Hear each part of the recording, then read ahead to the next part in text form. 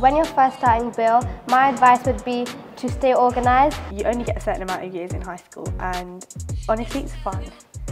I joined Beal in 2019 and I remember feeling really, really nervous and scared.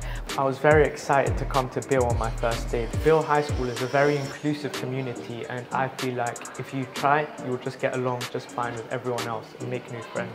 Making new friends is easier when you have similar ideas and similar interests because you can really bond over extracurricular activities. The Student Forum is an opportunity for students to voice their queries.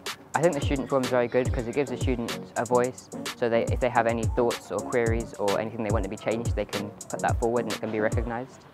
The Excalibur project is about redesigning the rec in which is a park next to the school um, in Year 7.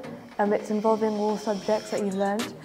If you want to be involved in projects such as the Excalibur project that our school hosts every year, please speak to your form tutors. He or she will put you down for it and they're always projects that help build your life skills such as reading, listening, general learning, teamwork, I think everybody should work hard and be nice because when you work hard, then you achieve the results that you want. But also when you're nice, you make other people around you more comfortable and confident and you can all together strive to be better.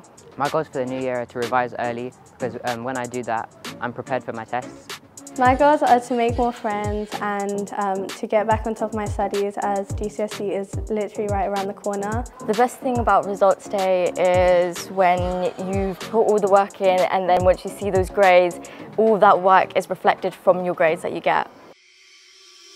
When you stay motivated, you again, you meet people who want to stay motivated as well and you do things together, maybe like join new clubs together or maybe like go to the library together and study together. Just enjoy yourself as much as you can as it does go by really, really quickly.